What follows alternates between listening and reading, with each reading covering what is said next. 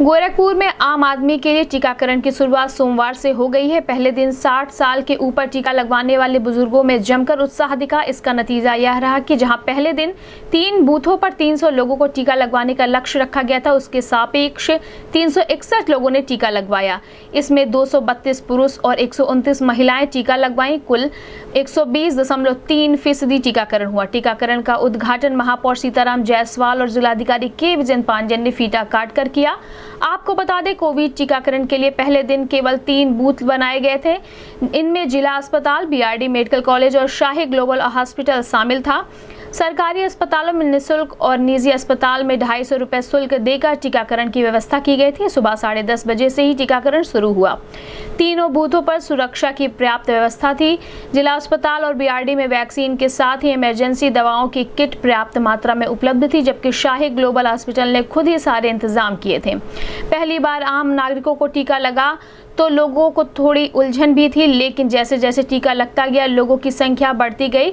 60 वर्ष से अधिक लोगों में ज़बरदस्त उत्साह देखा गया, जबकि 45 से उनसठ के बीच बीमार लोग भी टीकाकरण कराने आए थे। इस दौरान जिला अस्पताल और शाही ग्लोबल हॉस्पिटल में सीएमओ डॉक्टर सुधाकर पांडे व जिला प्रतिरक्षण अधिकारी डॉक्टर नीरज कुमार पांडे ने निरीक्षण कर व्यवस्था देखी। तीनों बूथों पर कोविड प्रोटोकॉल का पालन करते हुए टीकाकरण हो रहा था। टीका लगाने वाले वैक्सीनेटर को यह समझाया भी जा रहा था कि जिसे टीका लगाए, उन्हें पाँच मंथ ज़रूर बताएँ। इस संबंध में सीएमओ डॉक्टर सुधाकर पांडे ने बताया कि जिला अस्पताल और बीआरडी में जहाँ निशुल्क टीकाकरण हो रहा था, वहीं शहर में एकमात्र शाही ग्लोबल हॉस्पिटल में शासन की ओर से निर्धारित ढाई सौ रुपए में टीकाकरण हुआ। यहाँ भी टीकाकरण के प्रति लोगों में ज़बरदस्त उत्साह देखने को मिला। सौ लोगों का लक्ष्य रखा गया था। लक्ष्य के सापेक्ष सौ प्रतिशत टीकाकरण हुआ। समय बीत जाने के कारण मंगलवार को कई लोगों ने टीका लगवाने की बात कही है। इस संबंध में गोरखपुर न्यूज़ से बात करते हुए शाही ग्लोबल हॉस्पिटल के निदेशक डॉक्टर शिव शंकर शाही महापौर सीताराम जायसवाल सीएमओ डॉक्टर सुधाकर पांडे और जिलाधिकारी के विजेंद्र पांडेयन ने कहा।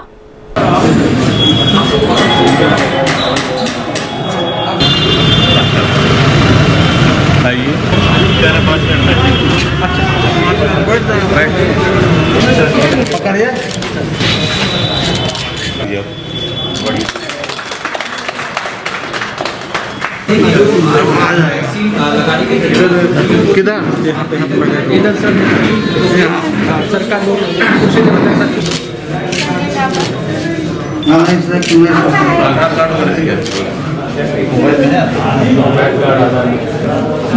चौवालीस छः सौ।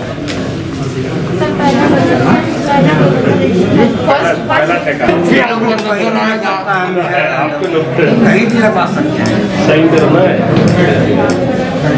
एट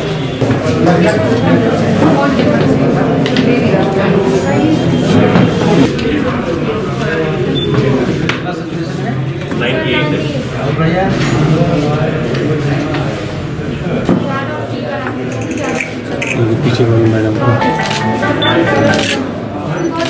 टीका आपको दूसरा डोज आपको एक अप्रैल को लगेगा ठीक है सर? जी आ- आपको अभी आधे घंटा रुकना है और टीका लगने के बाद भी आपको मास्क लगाना हाथ धोना ये सब करना है आपको। दूरी पे बना हाँ दूरी दूरी बना के रखना है। Mobile number? Mobile number? चौरानवे एक सौ बावन। हाँ प्रोजेक्ट लिखा है हाँ यहीं पर लगेगा। हाँ गाँव में मेरा साहब मास्क नहीं लगाए। लगाए हैं वो तो। आप तो पूरा हल्ला कर दोगे शहर में। तैयार नहीं हो पा रहा मैं तो दो बार बोल दे जाऊँ आप तो जानते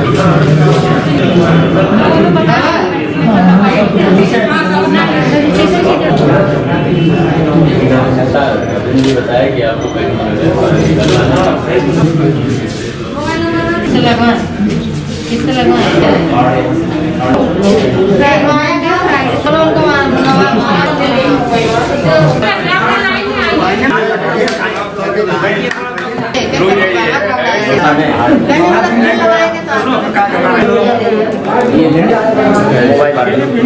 खाना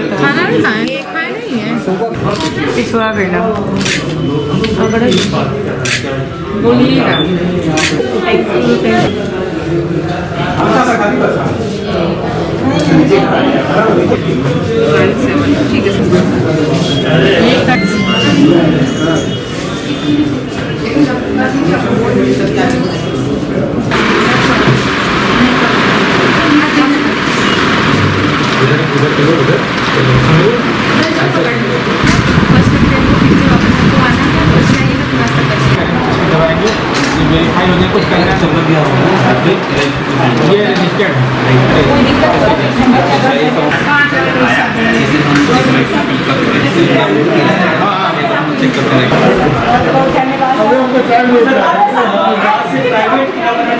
आज लगा अच्छा तो ये बच्चे से आज हो गया। हाँ हो गया।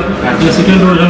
ठीक है। यहाँ ले हैं। मैं डॉक्टर शिव शंकर शाही, निदेशक शाही ग्लोबल हॉस्पिटल, तारामंडल से बोल रहा हूँ। कल सीएमओ ऑफ़िस हम लोग की मीटिंग हुई थी। जिसमें डिसीज़न लिया गया था कि सरकारी अस्पताल में तो फ्री का टीका लगेगा। लेकिन उन्होंने कुछ प्राइवेट हॉस्पिटलों के लिए टीका लगाने की व्यवस्था किया है। उन्होंने बोला था कि हम आपको सिर्फ़ वैक्सीन प्रोवाइड करेंगे। वैक्सीन आपको स्वयं ऑफ़िस से वैक्सीन कैरियर में लेकर आना होगा। आपको मैंने प्रॉपर स्टोर करना होगा। चार से आठ डिग्री टेम्परेचर पर वैक्सीन को लगाना। अगर किसी को कोई परेशानी होती है, कोई कैजुअलिटी आती है, उसको मैनेज करना पेशेंट को आधे घंटे लगाने के बाद वेटिंग एरिया में बैठना, ये सारा आपका काम होगा। जिसमें एक सौ पचास रुपये हम गवर्नमेंट को वैक्सीन का पे कर रहे हैं और सौ रुपये हमको मिलता। ढाई सौ रुपये पर डोज है। आज जो डोज लग रहा है, मरीज़ दो सौ पचास रुपये दिया, आज का डोज लग गया है। फिर दूसरा डोज पहली अप्रैल को लगेगा, उस दिन मरीज़ को दो सौ पचास रुपये देना पड़ेगा और दूसरा डोज लगेगा। वैक्सीन लगाने के बाद हम इसको आधे घंटे हर मरीज़ को बैठाते हैं प्रॉपर वेटिंग एरिया में। अगर किसी को कोई समस्या होती है, अभी तक कुछ नहीं हुई है, लेकिन अगर कुछ होगी तो उसको डील किया जाए, उसकी पूरी तैयारी हम कर चुके हैं। आईसीयू में तीस चालीस बेड खाली करके इसलिए रखा गया कि कहीं अगर कोई ऐसी अनहोनी घटना होती है तो उसको अच्छी तरह से डील किया जा सकता है। इस सोच के साथ कि think for west prepare for worse हम तैयारी करके रखें, अभी तो कोई अप्रिय घटना नहीं हुई है। शुरू से टीका हमारे यहाँ लग रहा है, जब से सरकार चालू की है। पहले सीएम ऑफ़िस के लोग आते थे, हमारे स्थान की यूज़ करते थे, खुद लगाते, वो निःशुल्क होता था। लेकिन आज से हम लोगों का टीका पेड है, सरकार वाला टीका निःशुल्क है। देखिए, जो स्वास्थ्य मंत्रालय से गाइडलाइन है ये, उसमें यह बताया गया है कि सीनियर सिटीजन जिनकी उम्र 60 साल से ज़्यादा है, उनको सबको वैक्सीन लगना है। और जो कोमार्बिड कंडीशन के मरीज़ हैं, जैसे जिसको शुगर है बीपी है कैंसर के मरीज़ हैं, गुर्दा खराब है, जिनको कोरोना ज़्यादा क्षति पहुँचा सकता है, ऐसे लोगों की एज में रिलैक्सेशन दिया गया है। उसमें 45 साल से लेकर उनसठ साल 45 टू 59 ईयर की एज ग्रुप को, उनको लगाना जिनको कोमार्बिड कंडीशन है। 45 साल से कम उम्र के लोगों को टीका लगाने की अनुमति हमको नहीं मिली हुई है। इसके लिए आप लोग उन्हें कोई पोर्टल पर मैसेज करेंगे या कोई भी आके और अपनी परेशानी बता के और आपसे टीका लगवा सकते हैं। नहीं, मैसेज हमारा करना नहीं है। मैसेज न्यूज़पेपर निकला हुआ है। पब्लिक को अवैध दिया गया है। इसमें दो तरह से रजिस्ट्रेशन करना पड़ता है। या तो खुद पब्लिक प्ले स्टोर में जाकर covid dot D O V dot in करके अपना रजिस्ट्रेशन कर सकता है। उसको ऑप्शन मिलेगा वो किस अस्पताल में लगवा सकता है। क्योंकि आज केवल साई ग्लोबल अस्पताल में अनुमति मिली है, आज तो मजबूरी हमारे लगना है। कल परसों हो सकता और अस्पताल भी आगे आए और लोग परमिशन मिले तो उसमें ऑप्शन रहेगा कौन अस्पताल में जाके क्या लगाना है। पब्लिक को अस्पताल का ऑप्शन है उसमें क्या वैक्सीन है, उसका ऑप्शन नहीं है। हमारे यहाँ कोविशील्ड लग रही है, वो तो कहीं कोवेस लगे, कुछ और लगे, हमारे यहाँ कोविशील्ड लग रही है। दूसरा ऑप्शन है कि अगर कोई, मान लीजिए कंप्यूटर का आदमी नहीं है रजिस्ट्रेशन नहीं करा पाता है, कम पढ़ा लिखा वो आएगा तो खुद हमारे यहाँ भी रजिस्ट्रेशन कराने के ऑप्शन है। लेकिन सब कुछ पोर्टल पर अपलोड होगा रजिस्ट्रेशन होने के बाद ही वैक्सीन लगेगा। या हम करें या खुद करा के आएँ। अगर खुद करा के आते हैं तो मेरे लिए सुविधा होती है, आराम से लग जाता है। नहीं हमको करना होता तो उस भीड़ में थोड़ा सा टाइम लगता है। ये आज एक ही दिन लगेगा कि या इसके लिए हफ़्ते में कोई दिन निर्धारित रहेगा या लगातार लगेगा? नहीं हमारे यहाँ तो ऐसा कुछ नहीं हमको चूँकि वैक्सीन के लिए पेमेंट करना होता है और वैक्सीन लाना लगाना तो मैंने डेली, मैं डेली के लिए प्लान बना लिया हूँ। अभी मेरे पास स्टेट बैंक के लोगों का फ़ोन आया कि हमारे 200 कंपनी कर्मचारी हैं उनकी तो मैं एक क्राइटेरिया रख दिया, पैंतालीस साल फुटनरी ये चीज़ें हम लगा सकते हैं। तो ग्रुप में लोग लगाने के लिए ढेर सारे ऑफ़र आ रहे हैं। तो हमारे यहाँ प्रतिदिन लगेगा, मैं एक अलग अस्पताल सेक्टर बनवा चुका हूँ, जिसमें हमारे स्टाफ जो ट्रेनिंग किए जा चुके हैं वैक्सीन लगाने के लिए, जिसको अच्छी, सुरक्षित तरह से लगाया जा सके, वो एक टीम है, वो खूबी निभा रही है। और हम इसको रोज़ लगाएँगे। इसमें कोई समस्या नहीं होगी। आज कितने अब तक कितने लोगों ने आपके वहाँ टीकाकरण कराया होगा? टीकाकरण कराने के दौरान किसी को किसी प्रकार की कोई दिक्कत हुई? अभी जस्ट पचास लोगों का टीका पूरा हो चुका हमारे यहाँ क्योंकि पाँच बैल आई थी फिर बैल लेने लोग गए हैं। मैं कल दस बैल खरीदा था तो पचास का हो चुका किसी को कोई समस्या नहीं है। बहुत लोग बैठे हैं अपना चाय पानी पिए आराम से लोग गए हैं। अभी अब तक एक डर था कि आज सीनियर सिटीजन को लग रहा है, जिसको उम्र साठ से ज़्यादा है, या बीमार लोगों को लग रहा है।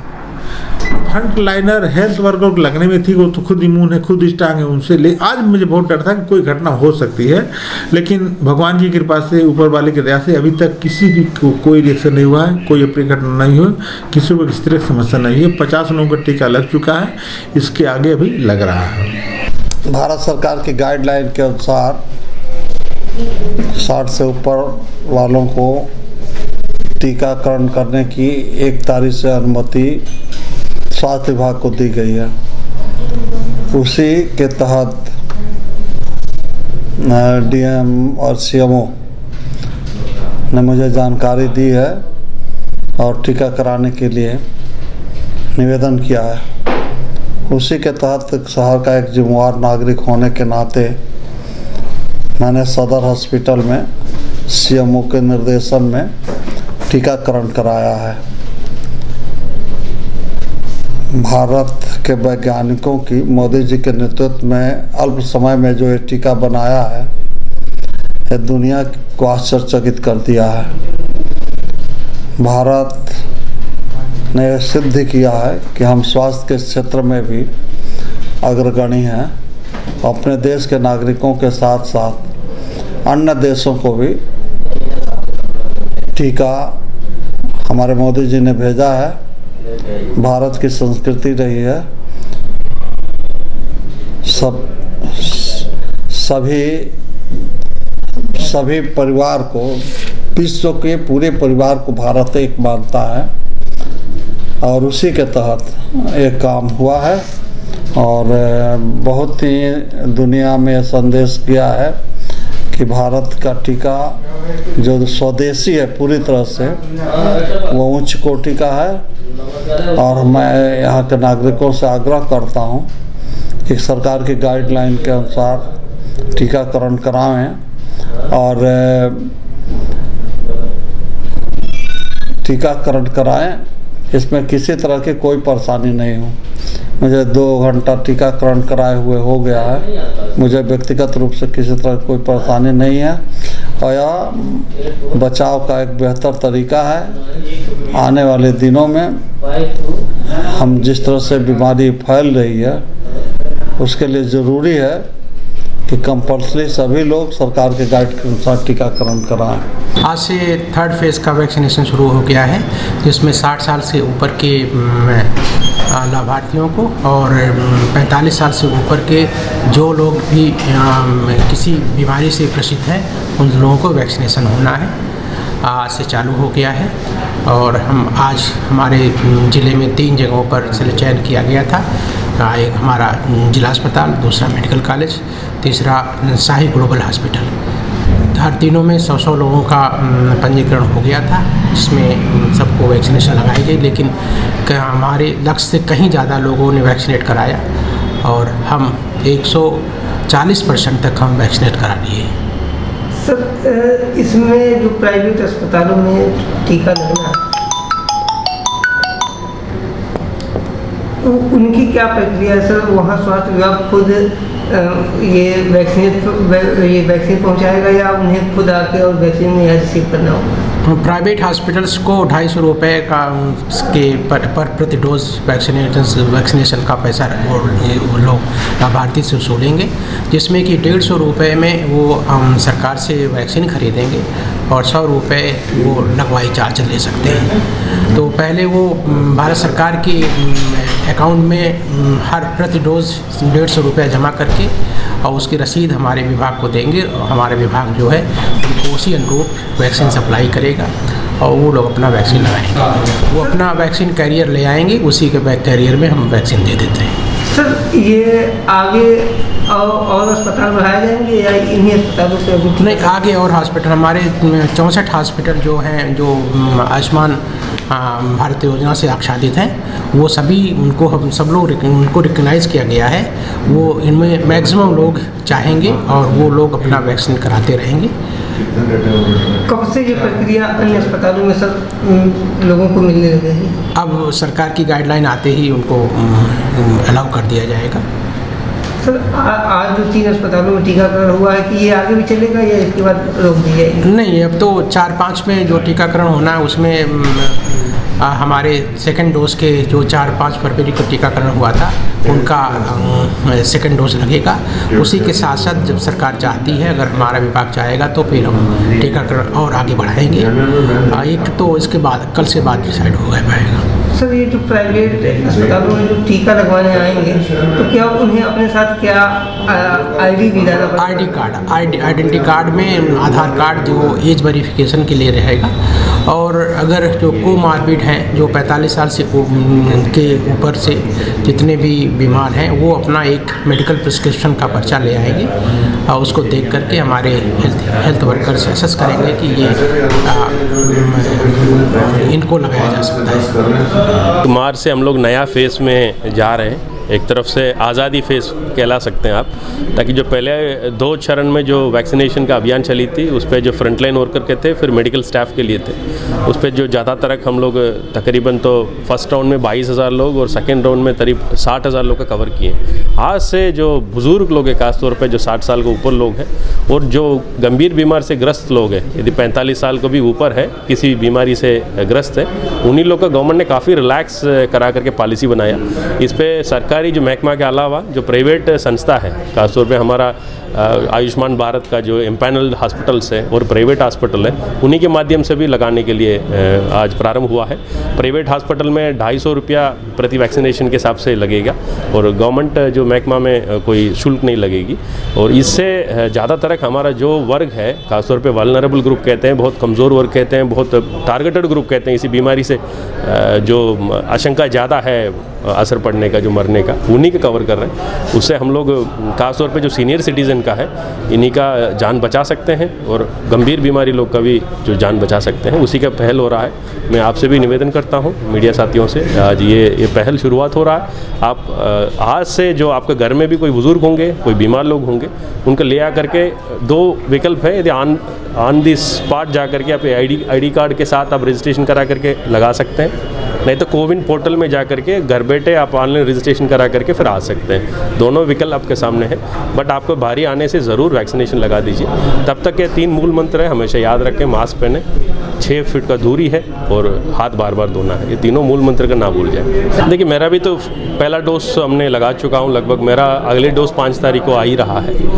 देखिए, ये हम लोग इसलिए तो जिला प्रशासन के कितने बड़े ऑफिसर हैं। एडीजीपी साहब है कमिश्नर साहब है, मैं हूँ राईजी साहब है एसएसपी साहब है और सभी लोग, हम लोग वैक्सीनेशन लगा करके जनता को सामने जो हम लोग साबित किए ताकि ये बिल्कुल सेफेस्ट वैक्सीन है। और बहुत सारे ट्रायल के बाद, मशक्क़त के बाद हमारा साइंटिस्ट और डॉक्टर ने इसको बनाया है। उसको मान सम्मान कराना चाहिए था। इसलिए जो आप पहले से आप देख रहे हैं जो कितने अफवाहें गलत फहमियाँ सब दूर पड़ गया है, टूट गया है। और लोग आने लगे हैं, बहुत लोग आने लगे हम पिछले दो राउंड में लगातार हम 100 परसेंट अचीव कर रहे हैं, आगे भी अचीव करेंगे। और इससे बेहतर मौका हम लोग को मिलेगा नहीं। ताकि धीरे धीरे वैसे ही आर्थिक गतिविधियाँ बढ़ रही है। वैसे आप जानते हैं, आज से विद्यालय भी खुल रहा है, आज से तमाम महकमा भी खुल जा रहा है और धीरे धीरे जो रिलैक्सेशन 100 परसेंट हो जाता है, तब यही वैक्सीनेशन है आपको सहयोग के रूप से रहेगा, आपका सुरक्षा के रूप से रहेगा। इसलिए मैं निवेदन करता हूँ, ज़रूर आकर के आप लोगों को वैक्सीनेशन